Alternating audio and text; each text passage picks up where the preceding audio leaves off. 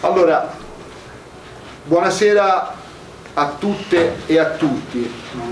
Grazie per essere qui questa sera, che è una serata importante, una serata eh, a suo modo abbastanza storica, che segna la ripresa delle attività culturali del nostro circolo di San Giuliano, dopo il rinnovo del Consiglio e della gestione. La volontà del Consiglio è di valorizzare al massimo la vocazione dell'ARCI, che è l'attenzione alla cultura, alla socialità, alla solidarietà e all'analisi politica della storia del nostro Paese. È per questo motivo che siamo onorati che il primo ospite di questo nuovo ciclo di incontri, che avrà a grandi linee cadenza mensile, sia Carlo Palermo, prima magistrato e poi avvocato, che non ha mai rinunciato al suo impegno civile, nonostante le gravi minacce a cui è stato esposto, ma ha scelto di rappresentare i familiari delle vittime del Moby Prince, o Rosaria Costa e tutta la, famig la famiglia di suo marito, Vito Schifani, ucciso assieme agli altri uomini della scorta di Giovanni Falcone il 23 maggio 1992. Noi vogliamo dimostrare la nostra vicinanza e la nostra stima a Carlo Palermo in modo simbolico, con il dono della tessera di questo circolo. Che... Allora, figlio.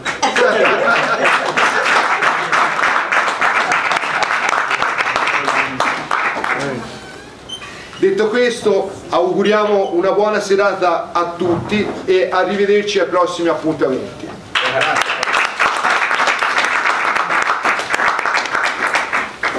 Uh, buonasera, sono Paola Baiocchi, sono giornalista del, di Iskra e sono anche un membro della, delle sezioni comuniste Gramsci Berlinguer per la ricostruzione del PC che sono un progetto di eh, ricostruzione appunto di quello che era il PC storico per ritornare ai valori della eh, Prima Repubblica che ora sono completamente eh, dimenticati e si vogliono trascinare eh, nella costruzione di una nuova eh, società che ha parecchio a che vedere con quello di cui parleremo eh, stasera perché eh, Carlo nel corso delle sue indagini che partono a Trento alla fine del, degli anni 70 sono un'indagine che parte su una eh, traccia di droga, tra, un grosso traffico di droga con eh, la Turchia, con, eh, passa per il Libano, la Siria e eh, quindi in un,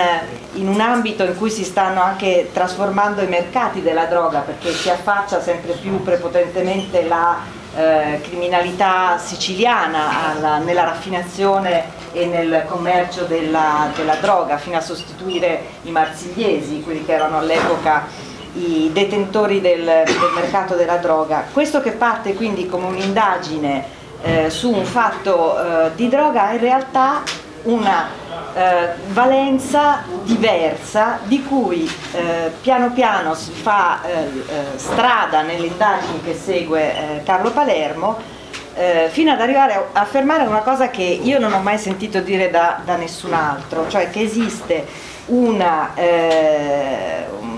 eh, un livello elevato, quello che viene chiamato il quarto, il quarto livello e quindi esiste una rete narcoterroristica, una rete narcoterroristica di origine massonica che è qualcosa di, eh, io non avevo mai sentito parlare eh, prima di una, eh, costruzione, di una costruzione del genere. Eh, quindi eh, questo ha condizionato fortemente lo sviluppo dell'evoluzione eh, della, della nostra società eh, questa eh, indagine e i fatti successivi che poi arriveranno a un fatto che molti conoscono nell'85 a, mm, eh, Carlo Palermo subisce un attentato a Trapani dove è stato trasferito eh, dopo che gli è stata tolta l'indagine di Trento eh, chiede il trasferimento a eh, Trapani e subisce un attentato il 2 aprile del 1985 mentre eh, attraversa, percorre una strada che è una strada obbligatoria che deve percorrere per andare da casa al lavoro perché nel frattempo non ha trovato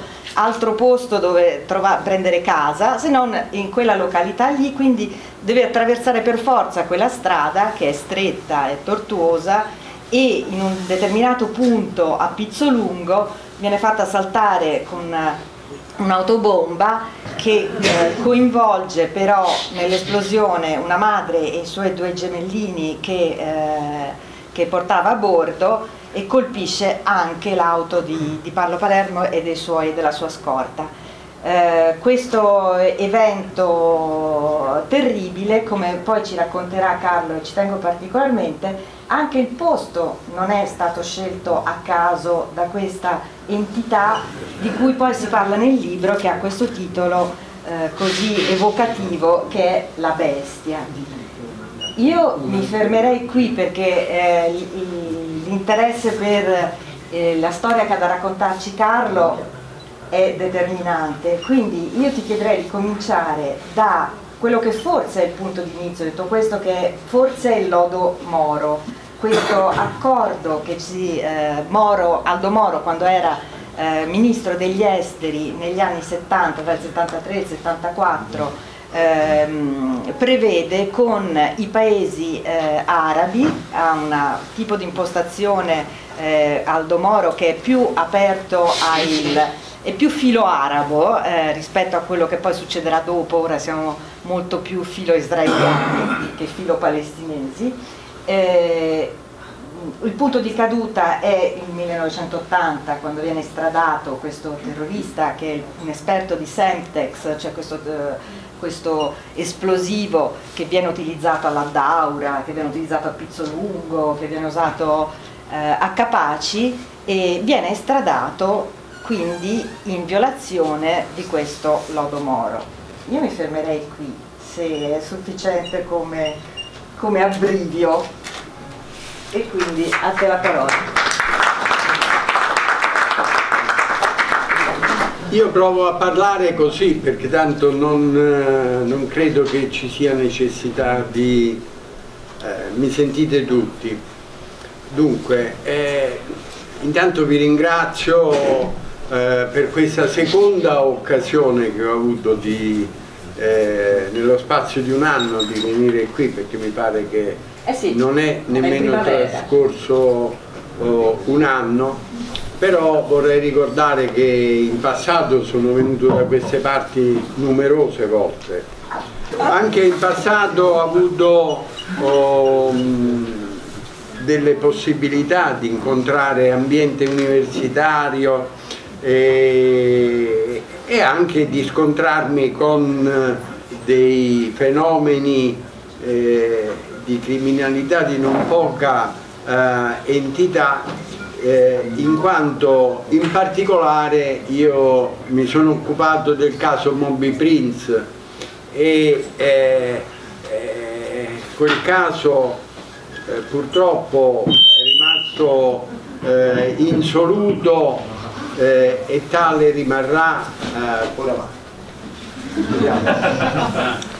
e tale rimarrà eh, eh, insoluto nella nostra storia perché ormai è passato e trascorso troppo tempo per accertare eh, le verità che sono nascoste dietro quell'episodio ma che eh, contengono un elemento che è a vostra conoscenza ehm, immediata, vicina, che eh, io riscontro sempre eh, un fatto, e cioè che la gente non conosce normalmente le realtà che sono proprio più vicine a loro.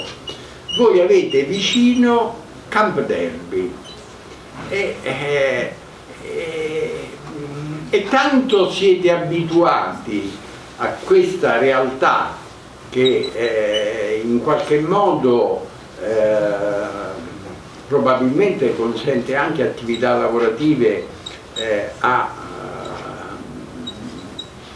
dei gruppi privilegiati, privilegiati di dipendenti che hanno accesso a quella, a quella struttura però eh, si tratta di una struttura che eh, non è italiana, è, eh, dovete tenere ben presente che eh, Camp Derby è una base degli Stati Uniti, non è una base della Nato, cioè non è eh, una base eh, che faccia parte eh, di quelle che servono per la nostra difesa, è una base eh, militare degli Stati Uniti che è presente nel nostro territorio dalla fine della guerra, è stata creata eh, dopo la fine della guerra, per eh, conservare armamenti che eh, sottoterra e dentro dei grandi capannoni eh, eh, dove viene nascosto allo sguardo di tutte le persone che pur circolano attorno e che servono per fare le guerre, servono per fare le guerre, è una realtà, non è che io vi racconto qualche cosa eh, che è una fantasia, voi vivete in questa realtà che è, è qui vicino a voi e questa base non è eh, stata scelta a caso, eh, si trova lì per caso, oh, ma eh, venne realizzata in quel preciso luogo oh, dopo che era stata durante la guerra e alla fine della guerra utilizzata eh, per eh, mantenervi prigionieri, eh, cioè è una struttura che eh, è servita, è servita a compiere guerre e eh, è servita al potere, al potere di chi? Al potere degli americani. E eh, in particolare eh, fu molto interessante studiare quel caso di Camp Derby perché eh, eh, Campedelli proprio non era eh, eh, emersa nelle indagini eh, che erano state fatte quando avvenne quel, quell'episodio ormai tanto lontano che è del 1991 che è dell'aprile, 10 aprile del 1991 guardate noi abbiamo tante di quelle date nella nostra storia che sono avvolte nel mistero, ma poi piano piano se eh, uno ci riflette e, e, e ci pensa, poi trova le spiegazioni. Però le spiegazioni non è che possono darle solo i magistrati, è il, che i magistrati hanno certi limiti eh, e, e noi dimentichiamo Ecco, quell'episodio terribile che eh, io immagino che molti di voi comunque lo ricorderanno, eh, eh, fu un fatto stranissimo, e cioè eh, alle nove e mezza di sera eh, nel porto di Livorno un certo. traghetto, certo. il Moby Prince, che trasportava dei viaggiatori in Sardegna, esce dal porto e si scontra in pieno, prende in pieno a metà eh, una petroliera dell'Agip.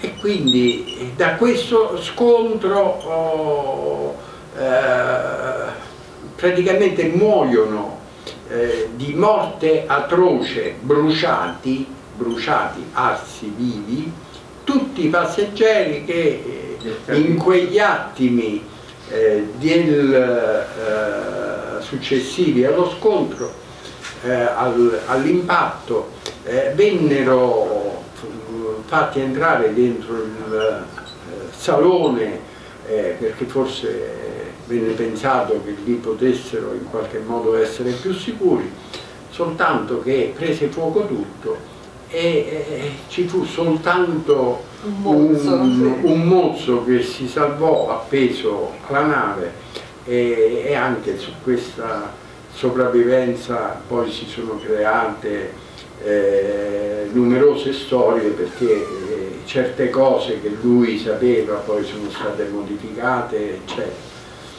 Ed è stato un episodio eh, che non ha trovato mai una spiegazione perché venne detto così che c'era la nebbia eh, oppure ci fu la distrazione di chi era al timone di, di quella nave.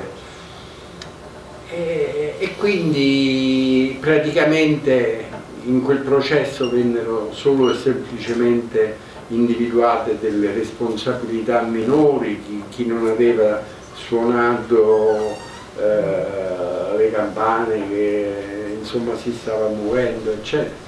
Insomma io dal, dal 91 mi sono occupato di questo caso quando praticamente era già tutto finito, tutto eh, ormai superato tra tutte le assoluzioni possibili e eh, nel 2006, nel 2007 eh, vennero da me i familiari di colui il quale era, guidava quella nave Chessa, eh, Chessa e il figlio, perché morì anche lui, no?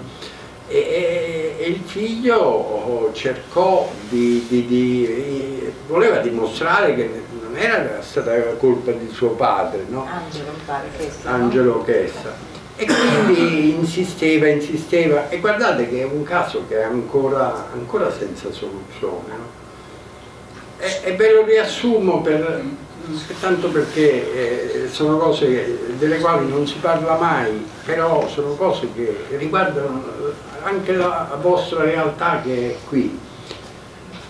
E, mm, e, allora, eh, me ne vengo qui per occuparmi di queste, di queste cose e che cosa scopro proprio in sintesi perché poi in fin dei conti parleremo di altro che cosa scopro? Che il porto di Livorno, che è qui vicino a voi, è anche il, che è un porto civile, un porto civile, eh, in realtà viene utilizzato anche come porto militare per eh, trasportare quegli armamenti che sono custoditi dentro la base di Camp Derby che è qualche chilometro all'interno, qui che rientra nel territorio di Pisa e, eh, e per, eh, quindi, per trasportare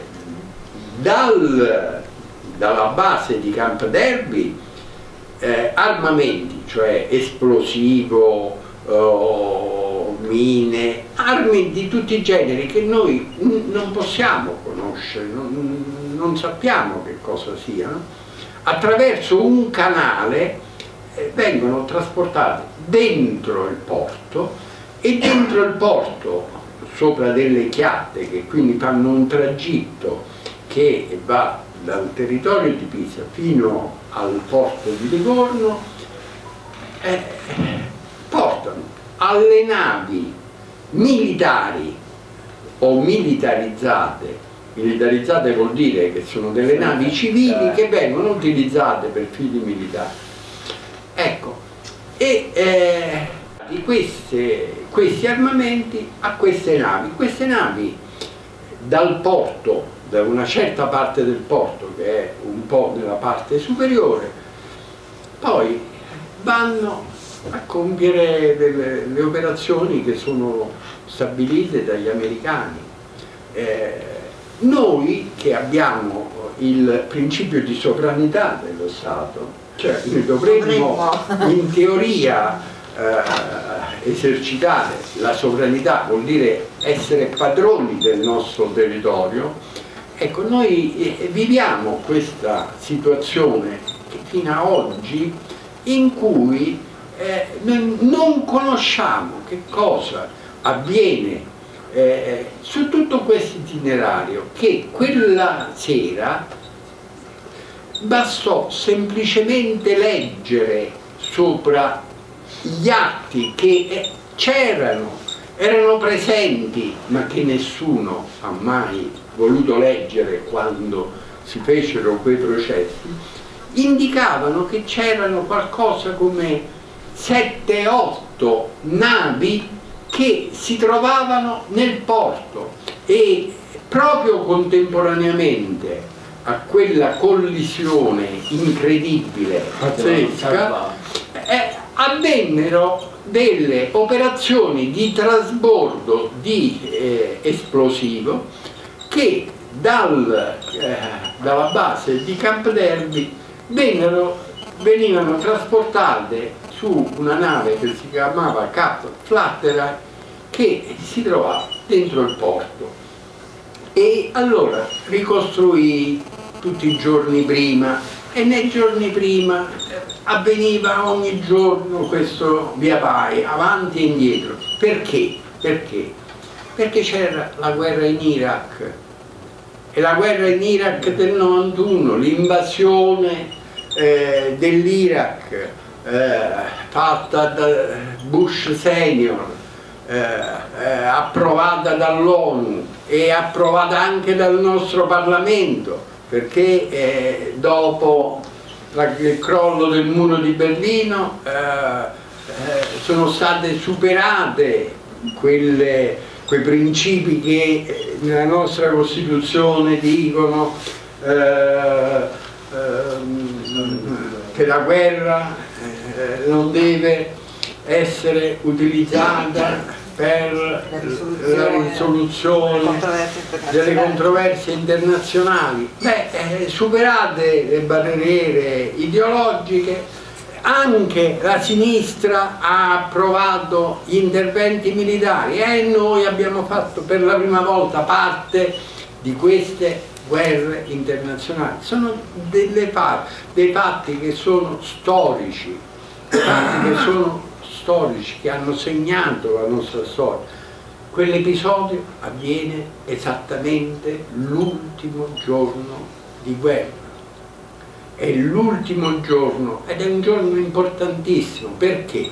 Perché c'è uno stato di emergenza durante quella guerra, c'è uno stato di emergenza che consente agli americani di fare quello che cavolo vogliono perché? Gli statunitensi però, diamogli... Gli statunitensi, gli statunitensi eh, fanno quello che vogliono.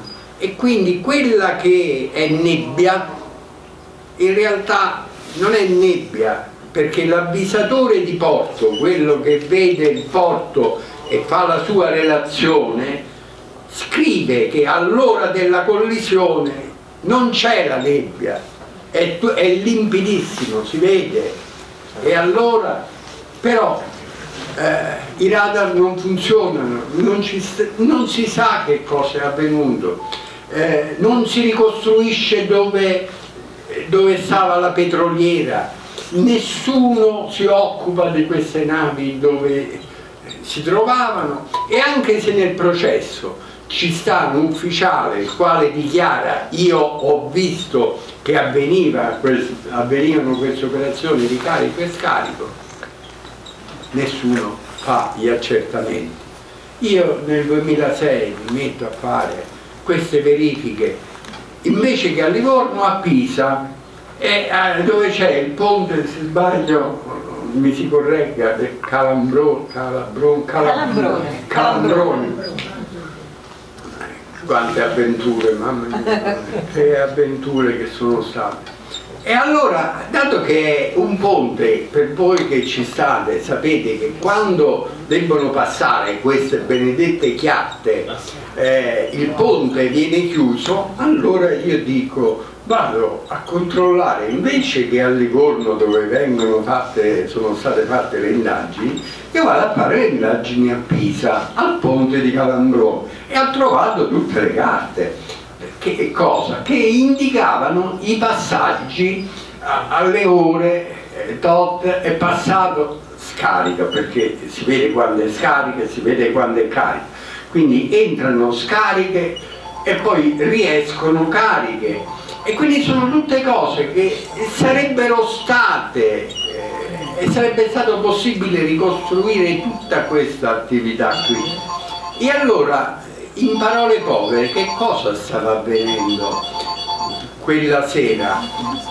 Quella sera era l'ultimo giorno che consentiva agli americani di, come vi ho detto, di operare tramite, eh, influenzando diciamo così, la situazione locale, di modo che non si potesse ricostruire quello che avveniva.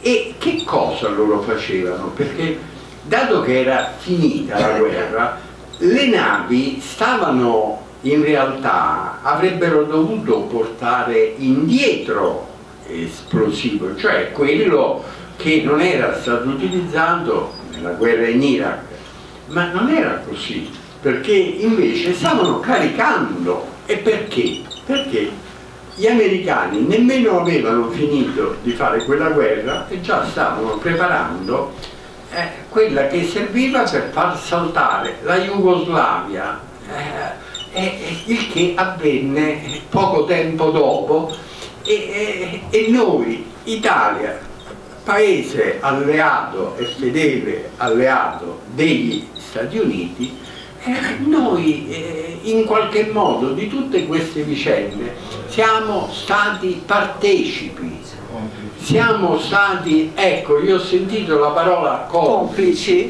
a determinati livelli complici, perché eh, certo eh, la popolazione che cosa può sapere di queste cose?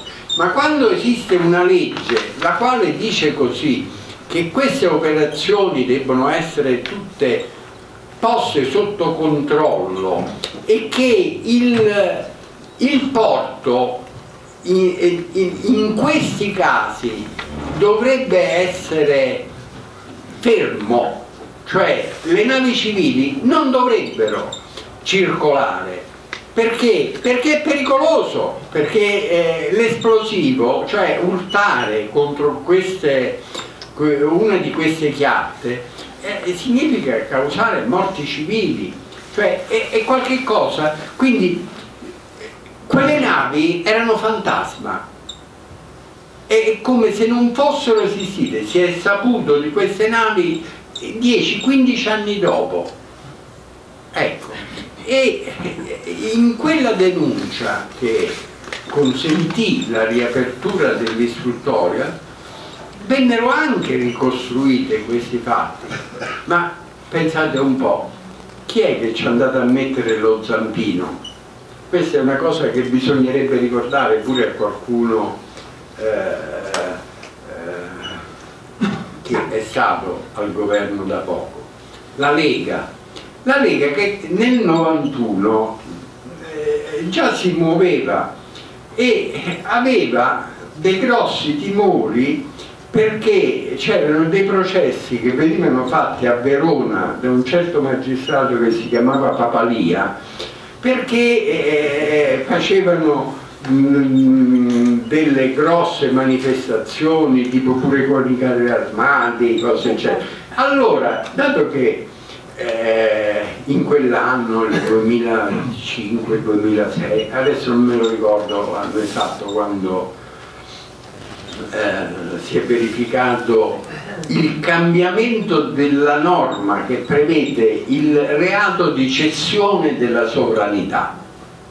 Ecco, dato che loro eh, si preoccupavano perché eh, loro divulgavano dei messaggi e facevano delle dimostrazioni eh, nelle quali entrava in gioco l'applicazione di questa norma perché loro avrebbero voluto eh, eh, sganciarsi diciamo così volevano realizzare il federalismo, cioè frazionare lo Stato, cioè i loro principi all'inizio erano molto più accentuati. Credo che non li abbiano dismessi quelli. Eh, eh loro, quelle, ecco, que, eh, queste cose qui.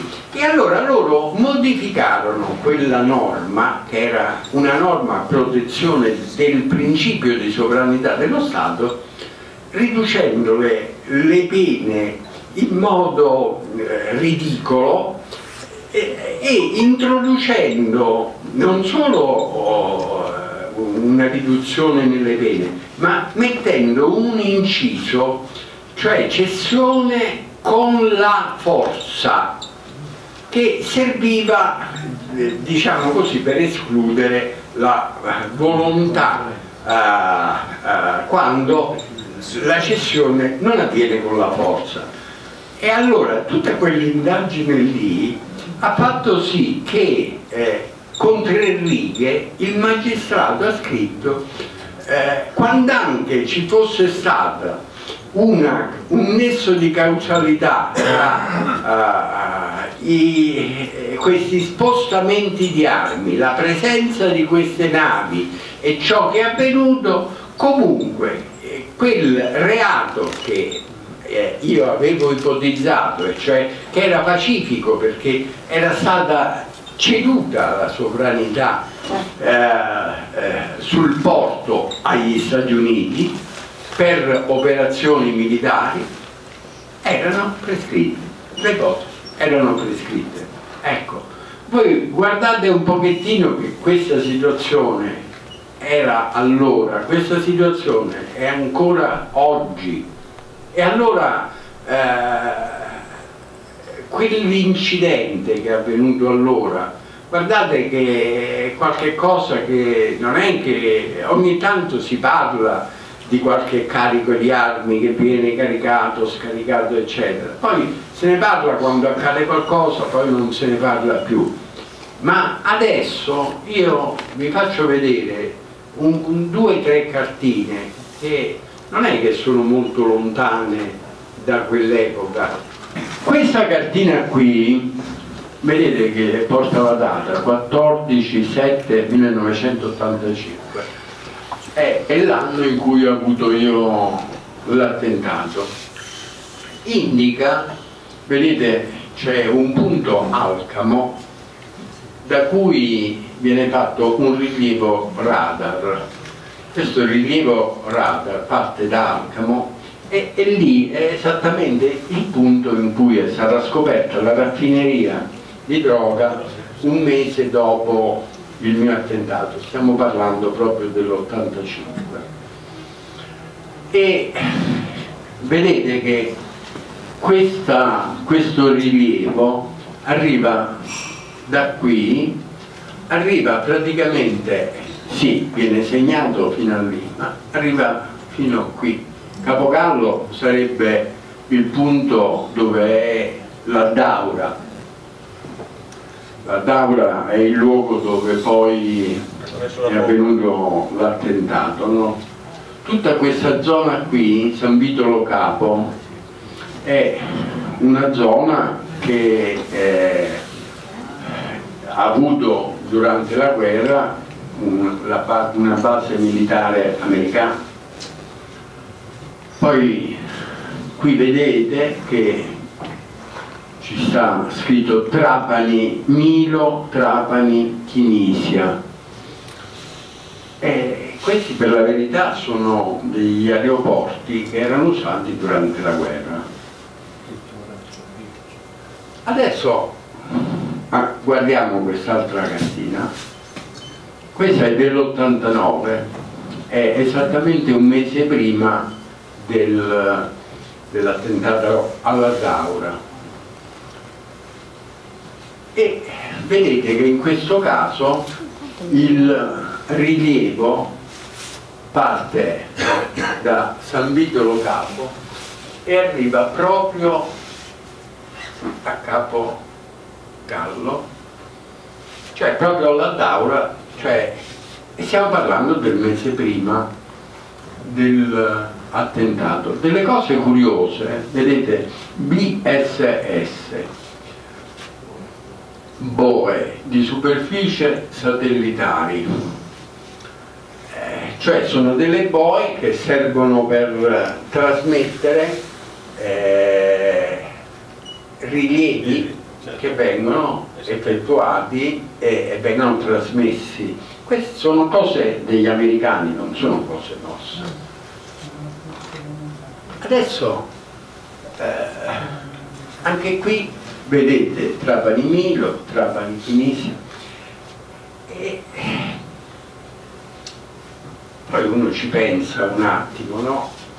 E dice così, ma come mai noi parliamo del 1989 o del 1985 e vediamo delle eh, operazioni di controllo militare, controllo militare, non nostro, fatto dagli americani, e, e vengono utilizzate delle cartine vecchie. Perché?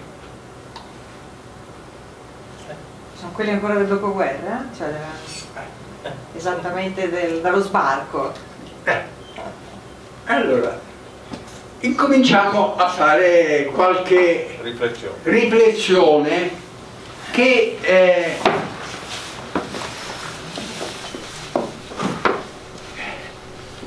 e poi eh, si alza chi dice così che è scettico perché eh, giustamente si può essere scettici di fronte a certi, a certi fatti eh, se, se uno si ferma al- solo davanti all'apparenza. Però un motivo uno se lo può pure chiedere perché gli americani che sono all'avanguardia si mettono ad usare delle cose vecchie. Forse è perché eh, è come se fosse un gioco, è come se fosse qualche cosa che viene utilizzato come uno scacchiere dove vengono, avvengono certi fatti che vengono eh,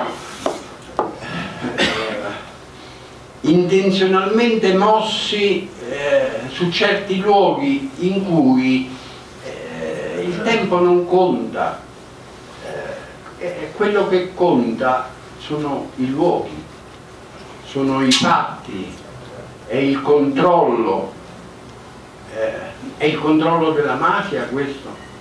Cioè noi pa- parliamo e abbiamo sempre saputo che in Sicilia c'è il controllo della mafia e questo sarebbe il controllo della mafia. Dicono i magistrati non esiste una entità superiore eh, a- a- alla mafia di Todorina eh, e questi che, che- che guardano dall'alto eh, chi sono? Allora tenete presente una cosa, che questo documento è datato fine 1983 1983 e si parla della pista argentina, la P2 e il traffico di droga e armi.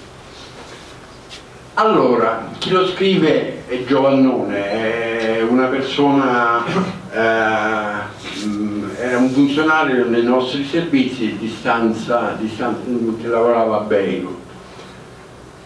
Dice così, non tutti i piduisti sono trafficanti di droga e di armi, ma quasi tutti I trafficanti. i trafficanti sono piduisti.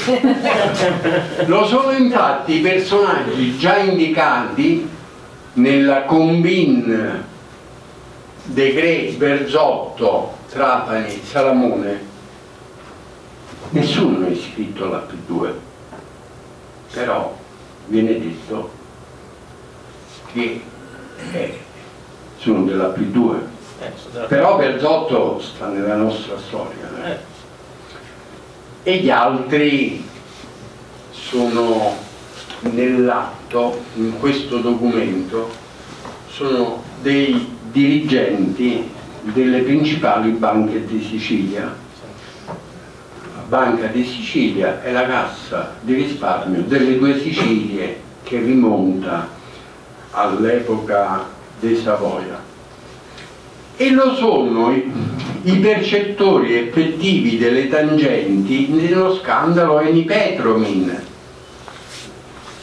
che poi si è riverificato un'altra volta nel 92 lo era l'ex colonnello del SID pugliese che era un mio imputato oggi in carcere e lo sono coloro che argentini e italiani, io andai in Argentina perché eh, avevo sequestrato dei documenti che riguardavano i traffici di armi fatti l'anno prima in Argentina per le isole Falkland che sembrano delle cose quasi divertenti ma non lo sono gli argentini sono stati capaci tramite la P2 di ottenere dalla Francia dei missili Exocet, i più sofisticati che c'erano, francesi, per usarli contro gli inglesi, che sono, erano loro alleati. È, è, è tutto è storia, è, sono cose che sono avvenute però non è che si sono messi a litigare tra francesi e inglesi. Ha avuto un ruolo anche il Banco Ambrosiano in questa Sì, ma voglio dire così che eh, eh, si ammette tutto, si ammette tutto, tutto si ammette.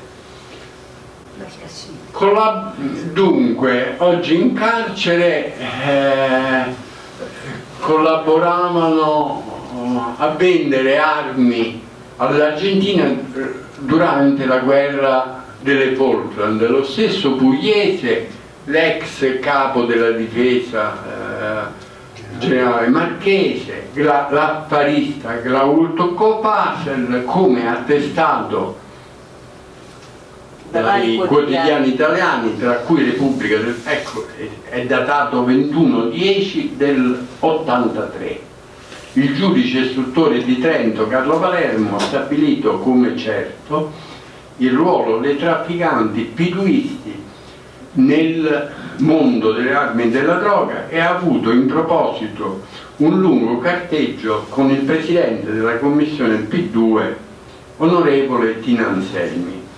Tuttavia, dice l'Anselmi, esprime una equazione di totale identità P2 massoneria che è infondata.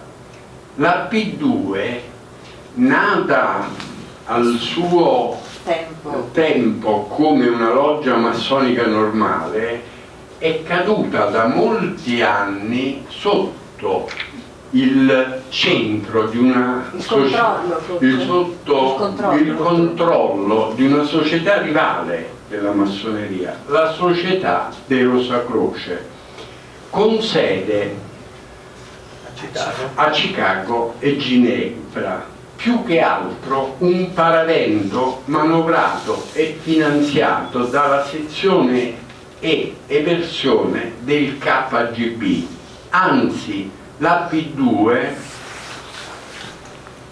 intende distruggere, intende distruggere la massoneria classica, la, massoneria classica, la P2 intende distruggere la massoneria classica diffamandola e chiamandola in causa poiché essa è eh, è diventata? È diventata un serio? Un, un serio in, in, intralcio alla sua attività. Questo non sono riuscito a capirlo perché non ho trovato il nome, quindi andiamo avanti, è inutile che lo leggiamo. Comunque è stato un caso di omicidio che eh, viene citato come importante per preservare il segreto su questa P2 si potrebbe andare oltre e dire che oltre ai quattro livelli indicati la P2 è il quinto livello della struttura quello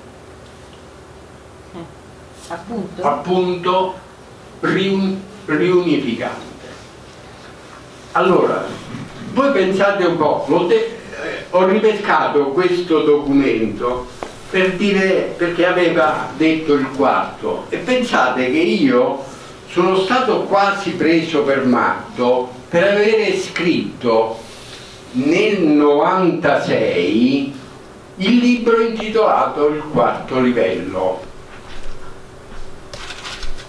quando in un documento trasmesso al Presidente della Commissione P2 Tina Anselmi, perché questo documento viene consegnato al Presidente della Commissione P2 Tina Anselmi, parla del quinto. E purtroppo, con tutto che io vengo citato in questo documento, che sono 11 pagine, più volte, perché si parla di tutte le vicende che riguardano i miei processi e le mie indagini, a me non lo hanno detto, non lo hanno detto gli investigatori, gli organi di polizia, la commissione P2 con cui avevo proprio con l'Anselmi, come viene detto, un largo carteggio, cioè io trasmettevo le carte a loro e loro mi avrebbero dovuto pure trasmettere le carte a me, ma non le hanno trasmesse. Perché? Perché in quel momento io queste cose non le dovevo sapere. E allora, e allora guardate un po', io questo documento lo riesco a scoprire, a trovare materialmente semplicemente scartabellando tra migliaia di carte e dicendo oh cacchio, cavolo. Ma questo parla di me parla dei miei imputati parla della mia inchiesta. Ma come mai a me non me l'hanno dato? E invece l'hanno dato alla commissione P2 perché? per avvisare certi soggetti che dovevano stare attenti perché dalle indagini che c'erano in corso potevano uscire i loro nomi. Questa è stata la realtà che a me mi hanno tolto di mezzo, me l'hanno fatta chiudere l'indagine, me l'hanno tolta l'indagine. Riprendi quel documento perché è importante, perché serve per spiegare sulla base di carte quello che avremmo la possibilità di dire che si deve essere scettici di fronte a certe cose. Però le carte parlano. Allora poi guardate questa pagina e la vedete e vedete che la P2 è scritta sette volte. Al quadrato. al quadrato, Al quadrato, però. è quadrato. scritto P2 al quadrato. E allora eh, co- cominci a ragionare eh, e dici così ma perché è scritto in questo modo strano. Poi ti studi il, eh, gli atti del- dei processi della commissione P2 e e viene ricostruita la P2, cioè quella organizzazione massonica eh, cui era a capo Licio Gelli, come una piramide. E viene detto eh, l'elenco che è stato trovato non era completo, questo si sapeva perché mancavano le persone più importanti, dovrebbe esserci una piramide rovesciata, superiore, più grande, che È come quella del Louvre. è praticamente eh, dovrebbe rappresentare la parte superiore e eh, non rivelata della P2 rispetto alla P2. E allora metti insieme quello che è scritto qui e cerchi di ragionare e viene scritto espressamente che da molti anni la P2, P al quadrato è al quinto livello e, eh, ed è una cosa diversa dalla P2 semplice.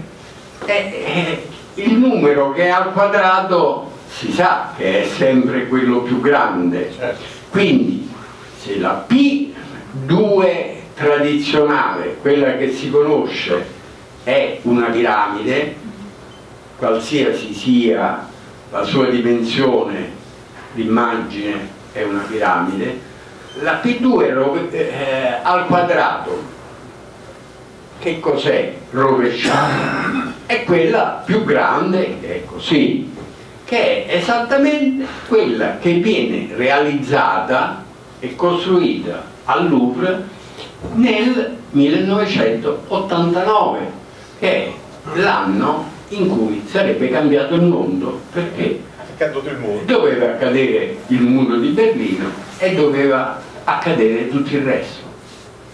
E allora allora io quando nel quando io nel, nel 1996 parlavo del quarto livello, io intendevo parlare e spiegavo eh, che cosa collocavo al quarto livello. Al quarto livello io consideravo i poteri militari, i servizi segreti e le banche. E che cosa avevo dimenticato? Il quinto livello, che era già scritto. E, e le sue radici, le sue radici evidentemente eh, hanno, appartengono a un'altra dimensione, a una dimensione che però eh, sta prima delle, dei servizi, delle armi, di chi controlla. Cioè non è che uno può pensare che eh, gli americani si mettano ad usare delle cose vecchie se non c'è una ragione. E allora, mettendo insieme tutti questi elementi, eh, uno raccoglie un indizio e così per me è cominciato il momento in cui, quando io ho scoperto questo documento, eh, mi sono ricordato, ah, ma quando è stato quell'anno, il 1983, io sequestrai un pezzo di carta a un imputato quello che si chiamava Pugliese, che viene scritto lì, Massimo Pugliese, che era uno che lavorava nei servizi, un pezzo di carta in cui era sopra scritto Rosa Croce, era scritto da un Rosa Croce e conteneva dentro un messaggio dove spiegava nel libro è citato questo documento, è riportato, un contenuto di raccomandazioni, di raccomandazioni per persone che eh, venivano raccomandate a quel Massimo Pugliese per farle entrare nella massoneria italiana.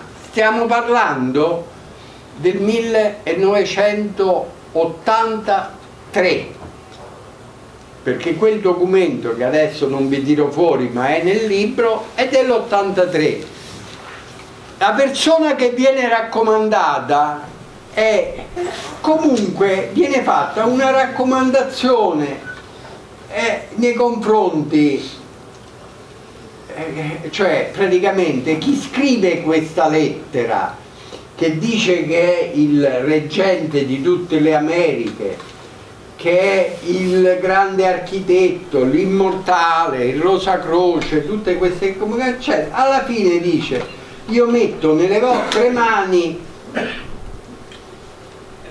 queste due persone. La seconda di queste due persone è Giuseppe Sciortino Giuliano, figlio di Marianna Giuliana, sorella di Turiddu di Montelepre, che è il cugino di Salvatore Giuliano, che è quello che venne accusato e condannato per la strage di Portella delle Ginestre. Ecco gli americani. Gli americani proteggevano i Rosa Croce il nipote e che stava in America, che ha prima vissuto in America perché dopo la strage di Portella delle Ginestre lui se ne andò in America, quando è ritornato che erano acque più tranquille, la massoneria, quella superiore, raccomanda a quella italiana, dice mi puoi sistemare questa persona qui? E allora che cosa significa? Significa che dietro Portella delle Ginestre intanto c'erano gli americani, come si è sempre detto, detto e sospettato, e, e che chi eh, ha subito diciamo, delle accuse ingiuste è, è stato protetto da chi? Da questa massoneria. E allora, eh, allora si incominciano a, a intuire e a capire alcuni discorsi, perché se noi poniamo eh, al vertice diciamo, dei poteri che sono sopra di noi, i servizi segreti, le banche, le, le, le, le strutture militari, eh, eh, però non arriviamo a, a qualche cosa che sia anteriore. Vuol dire che ci sta qualche cosa che è anteriore e che copre pure il periodo anteriore. E allora però badate che io questo documento io lo sequestro a un imputato nell'83 però già semplicemente leggendolo io devo tornare indietro al 1947 perché nel 1947 si parla di un episodio del 47 e questo qui è ancora vivo eh guardate che mica si è lamentato eh, di, di, quello che ho scritto nel libro. E nessuno si è lamentato. Perché sono cose scritte quindi non le puoi contestare. Carlo posso All chiederti una cosa? Sì, allora sì. posso. Eh, il 47 è eh, anche l'anno in cui eh, solo, sono nato, sei nato. Solo 11 giorni dopo eh, un, la strage di Portella della Ginestra eh, i comunisti vengono estromessi dal governo. Eh, la vicenda che tu hai raccontato così bene del, del Moby Prince del 91 e eh, sarebbe potuta succedere qualche anno, quindi un'invasione del territorio italiano assolutamente eh, Era... spadrone, spadroneggiamento del territorio sarebbe potuto accadere qualche anno prima, cioè tra il...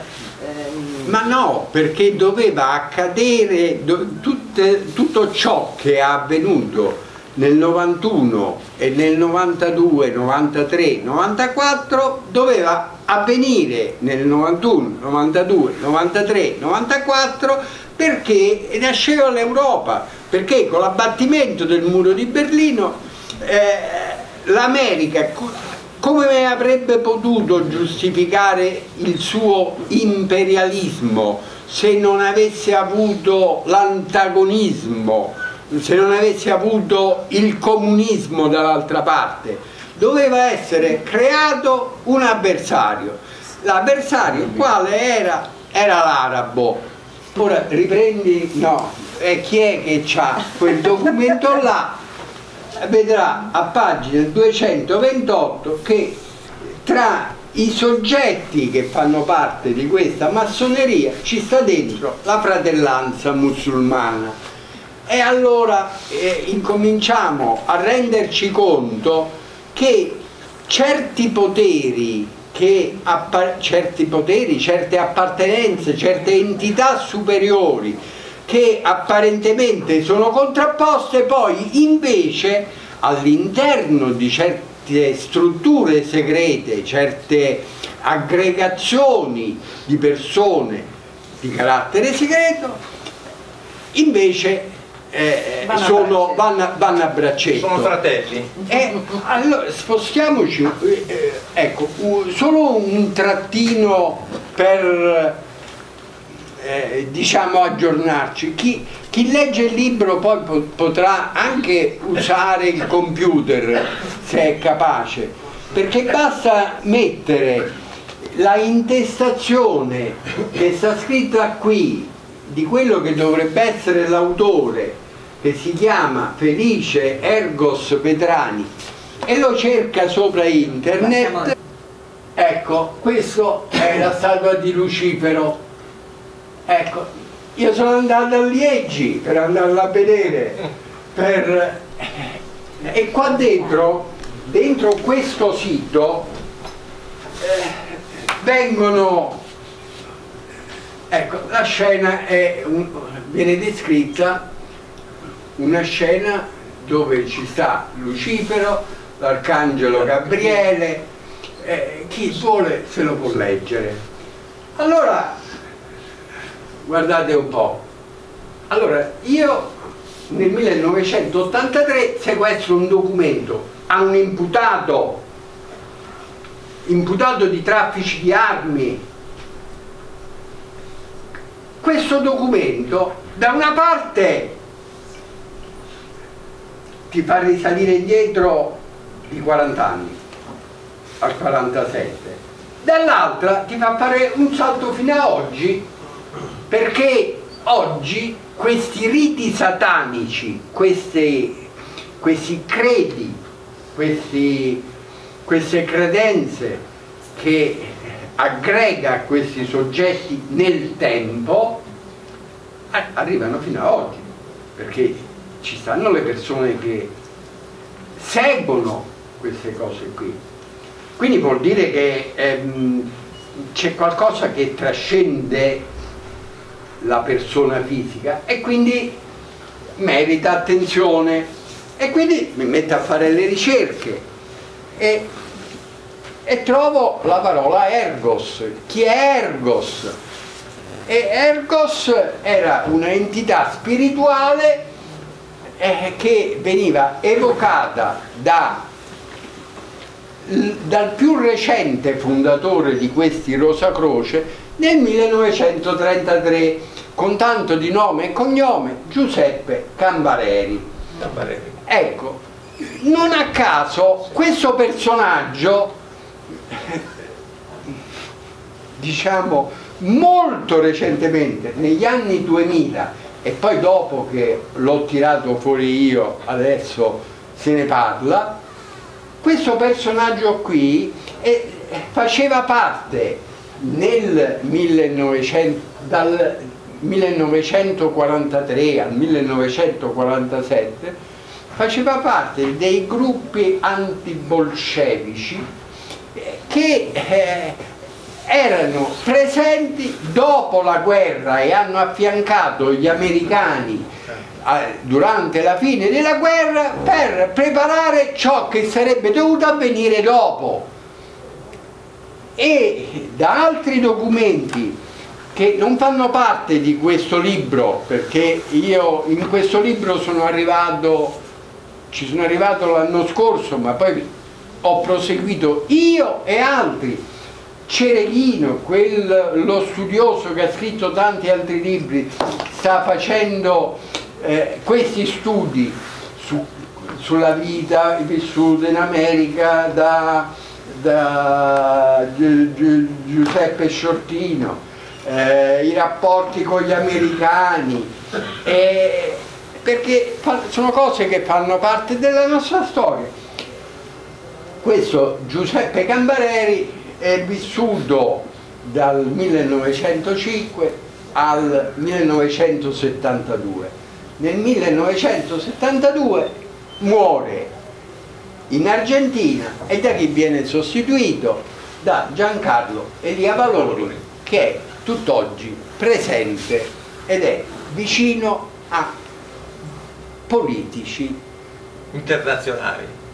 Diciamo in, vicino a, a, politici anche sì, sì. vicino a, a, governativi. Certo certo. Ecco.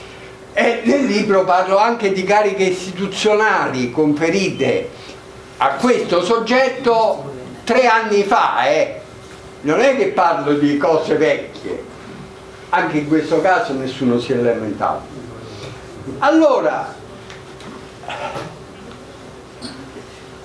Ergos per questo soggetto, chi era Cagliostro, 1785. Rivoluzione francese. Rivoluzione francese e americana. E americana. allora, guardate un po', cioè praticamente quel Giuseppe Gambareri che ha fondato questa cosa che compare qua nell'83 in capo al suo successore perché loro rivivono cioè praticamente ognuno porta la vita eh, rivive, rivive, il passato no? loro eh, ritengono di essere ognuno come la reincarnazione de, dei suoi precedenti era Cagliostro quello che veniva eh, eh, incarnato, diciamo come diceva lui, da Cambarelli. E siamo al 1785 eh, che guarda caso qualcuno che sta qui mi ha fatto una ricerca nell'archivio di Gelli per trovare se c'erano delle carte di Licio Gelli che riguardavano eh, il signor eh, Cagliostro appunto, Cagli no? Ca a nome di Cagliostro, Cagliostro sì. e, e, abbiamo trovato. trovato una carta esattamente del 1785 però io ho trovato dei documenti che riguardano i simboli dei Rosa Croce che sono presenti in questa lettera del 1983 processuale, cioè di carattere, sono documenti reali, non è che sono cose eh, di fantasia. E ho trovato nel libro dei simboli di Rosa Croce che questi sono eh, a colori perché adesso tutte le cose che faccio io stanno, stanno diventando piano piano eh, di patrimonio perché io le metto sopra internet, sopra il sito e diventano famose. Insomma questi simboli qui eh, sono i simboli che stavano qui. E allora risaliamo indietro al 1785 e, nel, e chi ha, ha, fatto questi simboli qui? Era proprio Cagliostro. E Cagliostro che cosa predicava? Predicava i riti egizi. E arriviamo alla chiave di volta. Arriviamo alla chiave di volta perché io ho avuto l'attentato a Trapani e ha avuto l'attentato a Trapani Pizzolungo eh, che è il luogo in cui l'anno dopo il mio attentato vengono scoperte delle logge massoniche che sono denominate Iside, Osiride, Iram, alle persone che risultano, quelle che vengono trovate nell'elenco. E, e, e dicono sì, questo è un elenco coperto che non è la P2 e quindi è l'unico caso in cui è stata applicata la legge che venne fatta all'epoca dell'Anselmi che vietava le associazioni.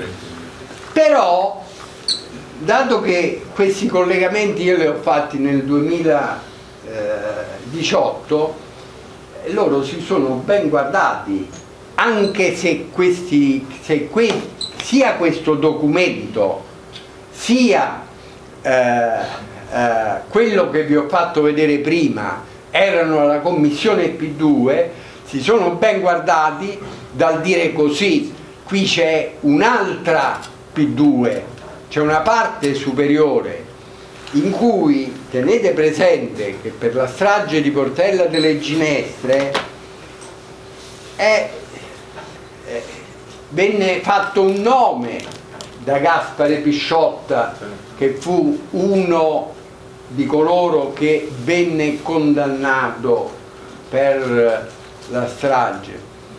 Fece il nome di mandanti e tra questi c'era Scelba ma, ma c'era pure il padre dell'attuale presidente nostro della Repubblica.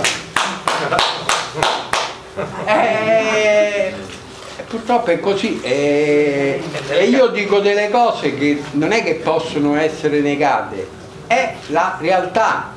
Così come è realtà perché sta scritto in atti processuali non miei ma di quelli che hanno fatto il processo a Trapani nel 1900 oh, su, sulle, su quelle logge che in quel luogo, nel centro studi, che non era americano, era centro studi massonici, c'è andato anche l'attuale Presidente della Repubblica. E di solito i massoni non è che invitano eh, voi, voi mi avete voluto socio, io ci ho pensato, non siete massoni, ecco, eh, avete capito? Eh, però eh, vi ha fatto piacere che io fossi vicino a voi. E beh, eh, qualche motivo deve esserci pure lì. Avete capito la nostra storia? Cioè non è una storia così semplice come noi crediamo e come ci viene indicata tutti i giorni dai telegiornali, dalle notizie, da tutto quello che ci viene detto. Eh, qua ci stanno gli americani, là ci stanno i cinesi, l'Europa, guardate, le cose sono un po' più, diciamo un poco più uh, complesse. E accanto a, que a quelle semplificazioni che vengono fatte per eh, eh, dare eh, alla massa uh, quella formazione che serve per accontentare tutti, ecco, la mafia uh, ha uh, il, suo potere in Sicilia e ce l'ha pure eh, in tutto il mondo, è lei che è capace a investire, eh, perché sono dei bravi contabili, sono capaci, i, i bancari non vanno toccati perché le, le banche non possono essere toccate, però sono segnate e sono sempre quelle, e sono sempre quelle, e sopra, guardate un po', ci stanno sempre determinati personaggi. Io tra... Eh, e poi mi fermo perché eh, è una storia che è, è senza fine, è senza fine. Ma io non vi parlo di storie astratte, io vi parlo di storie concrete in cui ci sono stato io insieme a altri magistrati che sono morti ammazzati per aver indagato su queste cose qui, senza saperlo, senza saperlo perché erano cose che ci capitavano sotto, ma non lo sapevamo, nessuno di noi sapeva che cosa c'era, che era Stay Behind, perché eh, sono state dette dopo, il lodo Moro, ma il lodo Moro c'è morto Moro per primo, eh, e adesso si viene a sapere che chi sono gli americani. Leggendo il libro vedrete la spiegazione. Sono cose dette sotto le, le spiegazioni. Sì, è stato un americano, ma chi gli ha dato l'ordine? Quello serve, è la matrice, la matrice, chi, perché, per governare il mondo, questa è la realtà. Queste sono, ma io a un certo punto, in questo libro, chi lo leggerà, si troverà un nome, sta subito, ne parlo, eh, un, era un siriano, si chiamava eh, Arsan Henry, io lo arrestai, aveva pure eh, qualcosa come 70-72 anni, era... E, eh, era colui il quale eh, in Europa da Varese, perché era sposato con una Varesotta, eh, sua complice, eh, gestiva in monopolio. Monopolio sapete che vuol dire? Cioè era lui per tutti, era, era lui. Che cosa? Tutte le industrie delle armi sia del, della parte occidentale e sia della parte orientale. Che cosa significa? Sia quelle di America, eh, Stati Uniti, eh, Francia, Inghilterra, Italia, sia quelle della Unione Sovietica, quelle della Cecoslovacchia, della Cina, eh, della Bulgaria, eh,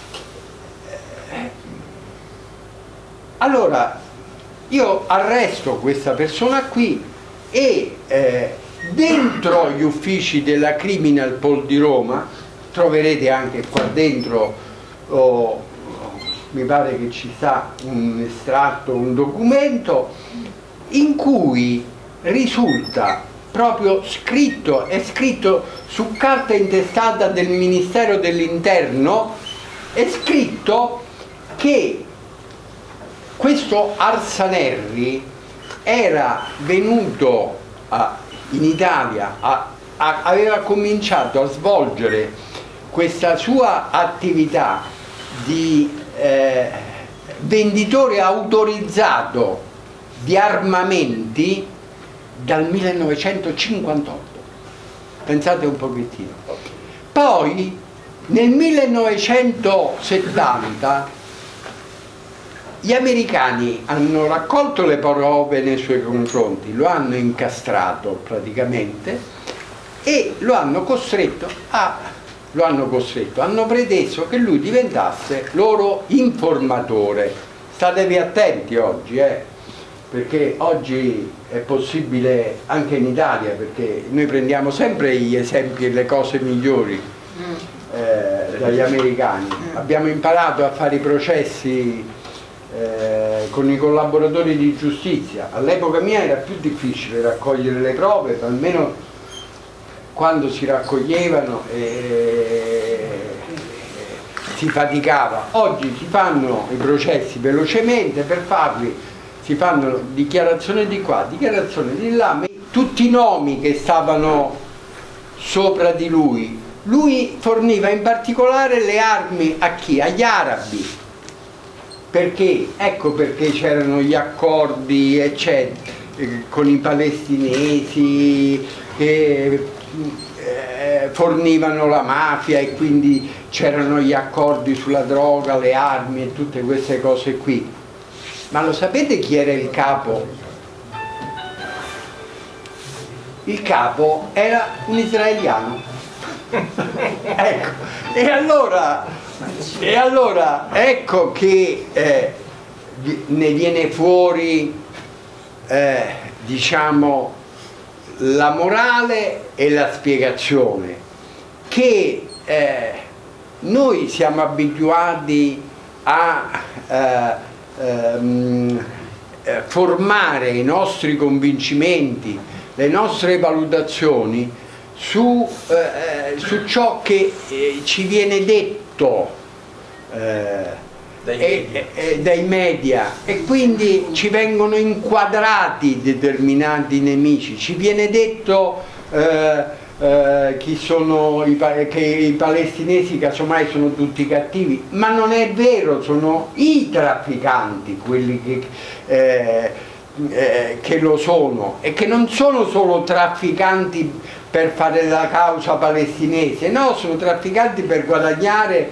e per avere i loro lucri, e sono cose ben diverse, o per fare le guerre, ma non le guerre per loro, erano all'epoca per l'Iran, erano per l'Iran le armi, procuravano le armi all'Iran.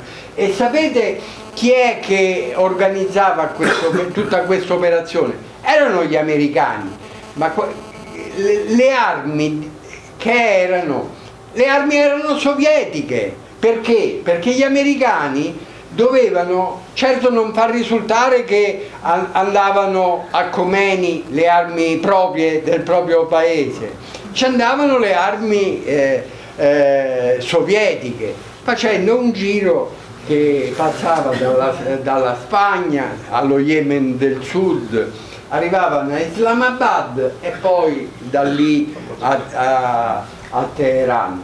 Ecco, queste sono le storie del passato che sono le storie di oggi. Sono le storie di oggi, in cui piano piano eh, per esercitare potere, per trovare gli avversari, eh, eh, c'è stato prima eh, il terrorismo eh, eh, e il comunismo, poi quando si è dovuto cambiare perché eh, il comunismo col muro di Berlino si doveva togliere e c'è stato l'integralismo islamico, adesso eh, sta finendo anche questo, eh, nonostante se lo siano fatto durare il più a lungo possibile e piano piano vedete che eh, si sta introducendo il nuovo interlocutore che è quello della Cina, è perché è così, è tutto scritto prima. È tutto, voi vi, credete che il nostro destino sia, eh, sia veramente espressione della nostra libertà? No. Purtroppo noi abbiamo, siamo a- a- a- abbiamo dei margini ristretti della nostra libertà, ce ne stiamo accorgendo adesso che può essere un governo, può essere l'altro, eh, i margini di intervento cambiano così. Ormai chi comanda sono le banche, sono i poteri finanziari e chi ci sta sopra, chi ci sta dietro.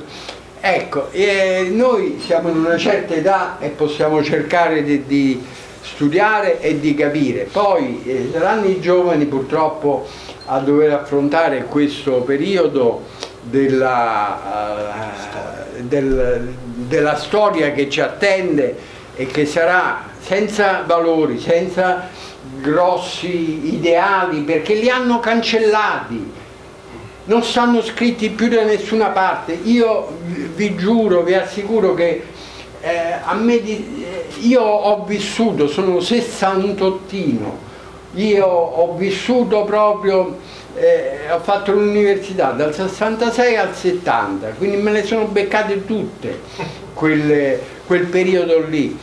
Però io vi dico che c'era la destra, giurisprudenza a Roma era fascista e la facoltà di lettere e di architettura era comunista. Però io vi dico che erano da rispettare tutte e due.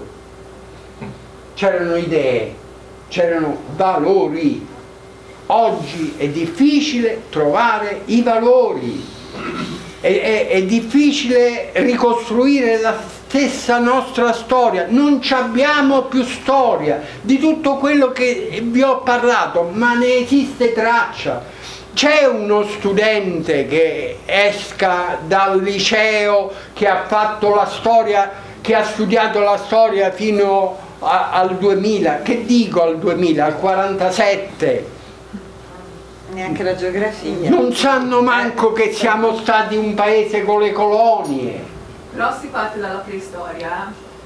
Però si parte dalle... ma ogni volta quando si ricomincia, Ecco, e quindi, sempre- e quindi io vi ringrazio dell'opportunità che mi avete dato di stare a chiacchierare, potrei stare fino a domani, dopodomani, sarà per la prossima volta.